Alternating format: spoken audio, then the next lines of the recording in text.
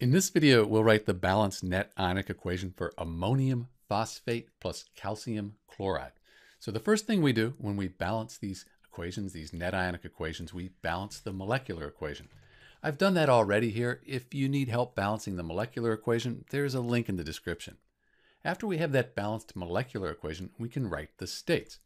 The ammonium compounds, they're very soluble, AQ. So ammonium phosphate, that's going to be soluble.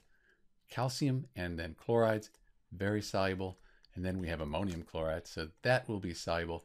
But then phosphates in general are insoluble, except for things like sodium phosphate, potassium phosphate, and ammonium phosphate.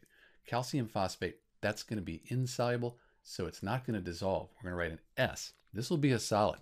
When these two substances react, falls to the bottom of the test tube as a precipitate. So we have states now. This point, we can split the strong electrolytes into their ions for the complete ionic equation. The ammonium ion, this whole thing here, it's one you should remember, is 1 plus. The whole phosphate ion is 3 minus. So I have my ammonium ion here, three of them times 2, 6 of those ammonium ions. I'll write the states later, 2 phosphate ions. Calcium's in group 2, that has a 2 plus ionic charge. Chloride ion 1 minus. 3 calcium ions. And then for the chloride ion, we have 3 times 2, so we have 6 chloride ions.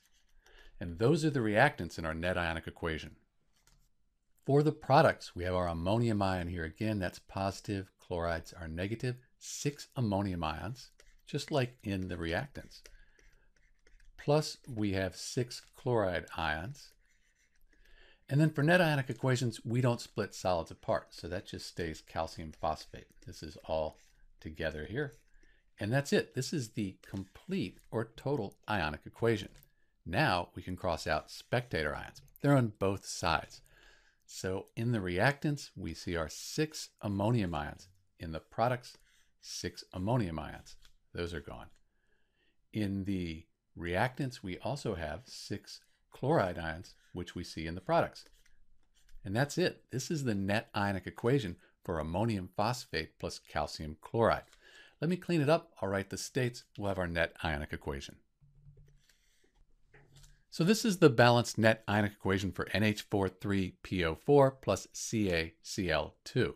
You'll note that charge is conserved. I have 2 times 3 minus. That's 6 minus. minus 3 times 2 plus is 6 plus. 6 minus 6 plus adds up net charge of 0. This is a neutral compound, net charge of 0. The atoms, they're balanced as well. Often we'll see the positive ion here first, but it doesn't really matter. It's still the same equation. Just looks a little nicer, I guess. So that's it. That's the net ionic equation for ammonium phosphate plus calcium chloride. This is Dr. B, and thanks for watching.